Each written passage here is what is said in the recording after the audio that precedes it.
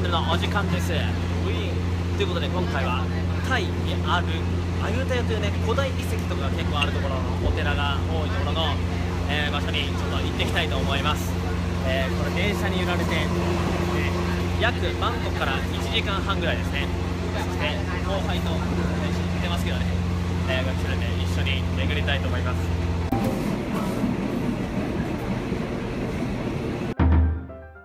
いうことで、えーただいまアユタヤの方に着きました、えー今ここから船に乗って向こうに渡ったところがね結構遺跡があるらしいんでね。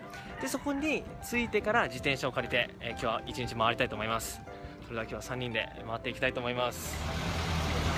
よし乗りますか。ということで今から船に乗り込みたいと思います。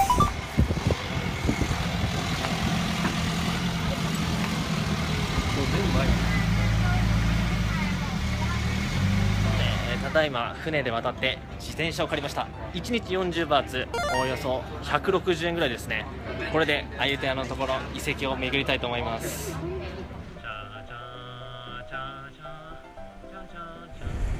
結構自転車だけでもいろんなね遺跡巡れるらしいんでこの40バーツで借りた自転車で楽しんでいきたいと思います。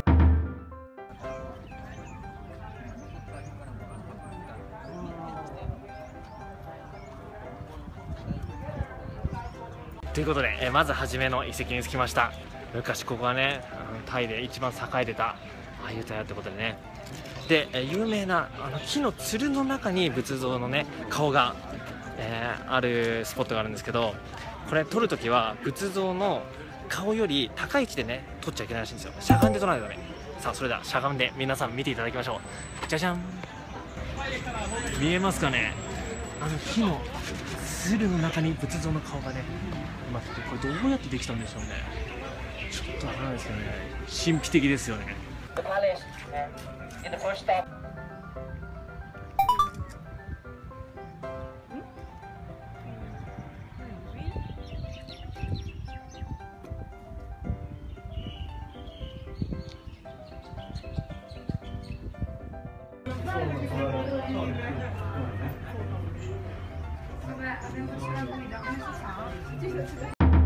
今トゥクトゥク150バーツで安く、えー6箇所回ってくれるっていうねお兄さんに出会ったんでこれからトゥクトゥクに乗って、え6箇所巡っていきたいと思います。本当だ。トゥクトゥクにテレビがついて。るあそれでは6箇所一気に巡りたいと思います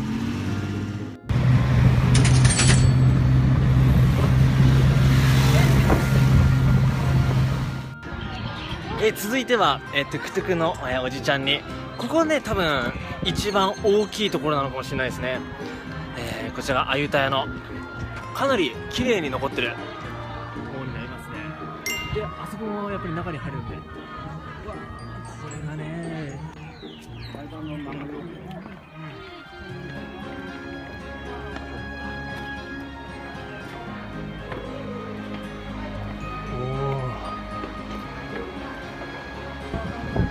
ここでお参りをするってことか。そこで20バーツまあすごい金粉？あ、金粉なんだ？あなるほど。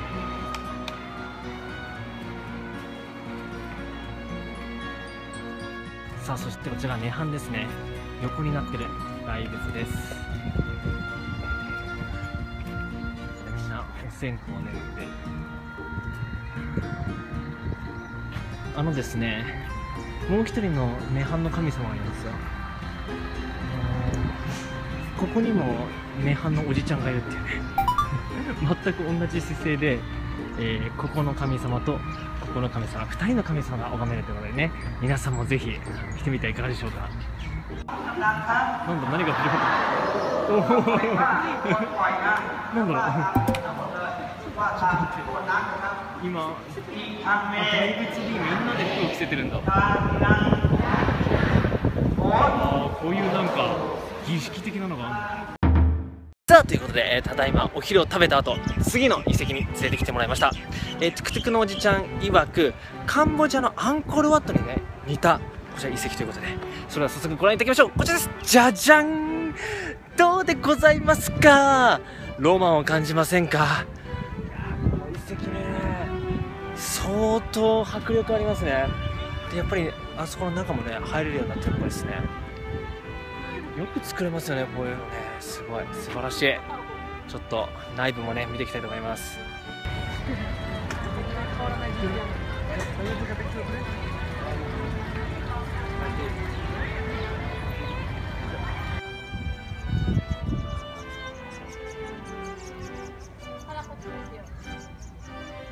さあということでえー中に入っていきたいと思います。トゥクトゥクのおじちゃん曰くここが一番おすすめって言ってましたね。綺麗な形でね現存して残ってるってことなんでしょうね。初めに見たところってのはもうだいぶ壊れちゃってたんですけどここは綺麗にてっぺんまで残ってますよ。うわすごい。わお。あここ入れないんだ。残念。わあでこっちのところがすごい。いやーこれはなかなか迫力ありますよ。ぜひねあそこ登りたかったけどな確かにアンコールワットっていうかこういう形のね遺跡ってありますよね。